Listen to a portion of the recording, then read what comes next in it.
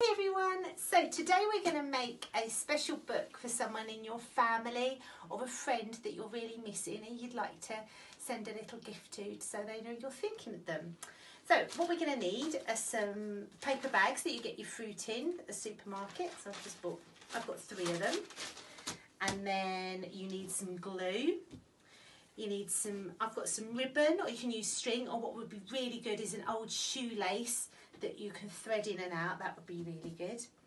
Um, a pen to do my writing. And then I've got some photos of me and my special person, or you might like to draw some pictures. And a hole punch. Okay, so I'm going to take my three paper bags and I'm just going to fold them in half like that. Just so they're one inside the other. Okay, so I'm going to fold them like that. Then I'm going to make five holes down the side with my hole punch. I'm going to pop them in there.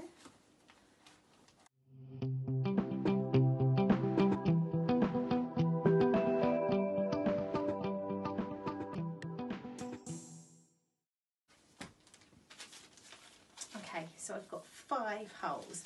Then I'm going to use my ribbon to just go in and out. It's quite fiddly. So go in and out. This. this is really good as one of our finger exercises to get our fingers doing little jobs. It's quite fiddly.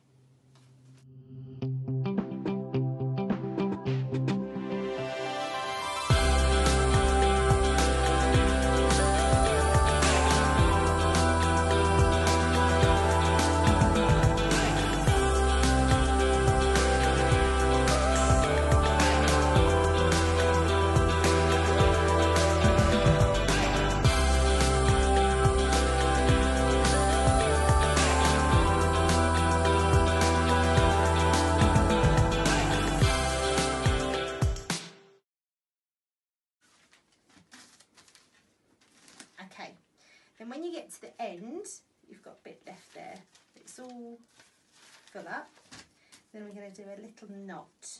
You might need to get your grown up to help with your bow. I'm going to make a nice pretty bow at the top.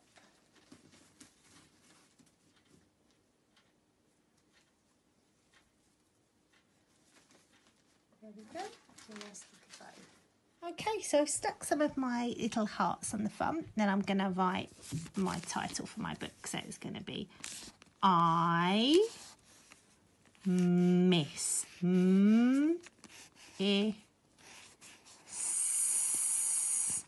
You is one of our tricky words. Y-O-U spells you. I miss you. And this is for my nan. N-a. Mm. I miss you, Nan. Okay, so I've finished my book now. So let's see if you can read my sentences. So I've just used some of the hearts and the pictures to make my sentences. So it says, you, oh, it's a tricky word, are fun. Uh, fun. You are fun. the next one. Oh. I like or a tricky word, to play with you. Lots of tricky words in that one. Next one. Oh. I love our holidays. Next one. Oh, another tricky word. You give good hugs. And the last one, I love you.